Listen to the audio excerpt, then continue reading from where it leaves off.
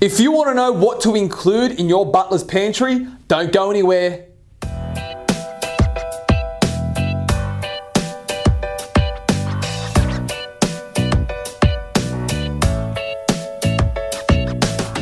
All right, guys, welcome back for another episode of Simone TV. And once again, guys, thank you for joining me and allowing me into your homes to bring you all of this information. Today, what I want to talk about is what to include in your butler's pantry. Now, this is not so much talking about should you have one. This is more or less as in what you should include in your butler's pantry because a lot of people do try and have the butler's pantry, they're a little bit confused in what they should include.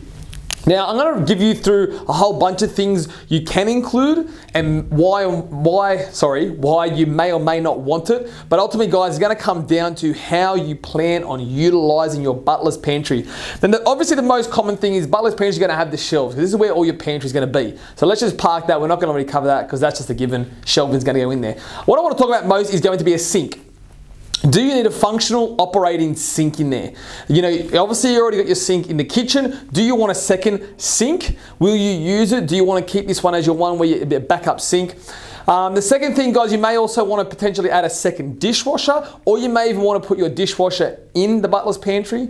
Um, and same thing with the fridge. You may not need a second fridge, but some people like to put their fridge in the butler's pantry. It's going to determine how big it is. Um, maybe just before we go back into it, is going to have a door. So one of the big things is, do you need a door in your butler's pantry? Do you want to have it so it's concealed and closed? You can keep all the mess in there. Do you want to have no door on it so it actually becomes uh, essentially part of your kitchen? Um, it's not actually a closed off area. So when you're cooking, when you have people over, you're moving in and out of the but. Whoa. Just bump the blinds. So you're moving in and out of the butler's pantry, grabbing all the items you need. Um, so guys, we talked about sinks, we talked about fridges, we talked about dishwashers. Um, other things that you may want to include in there is potentially your microwave. Now, microwaves things that generally not used a lot often, but maybe they might be. So if it's something that you don't use often, you may want to put it into your butler's pantry. You can potentially have it sitting on top of the counter. Um, coffee machines is another big one. If you want to have that out on the counter, you can definitely have it there as well too. Another thing I want to touch about with Butler's Pantry is things like your kettle, your toaster. Where are these items going to go? Are they going to go in your butler's pantry? Are you going to have space for them outside?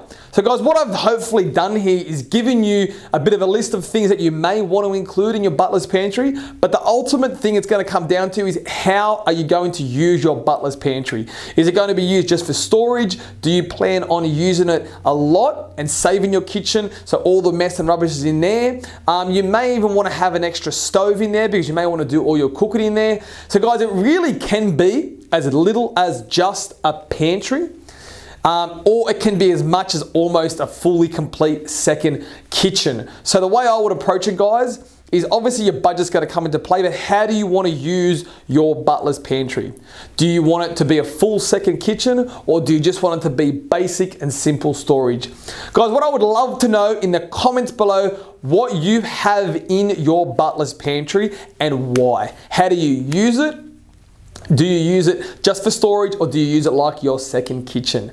Guys, also, if you know anyone who's a little bit confused about their butler's pantry, definitely tag them in the comments below so they can watch this video and get a little bit better of an understanding of what to include in their butler's pantry. All right, guys, if you have anything you want me to cover on upcoming Simone TVs, let me know and I will do my best to cover them for you. All right, guys, thanks for watching.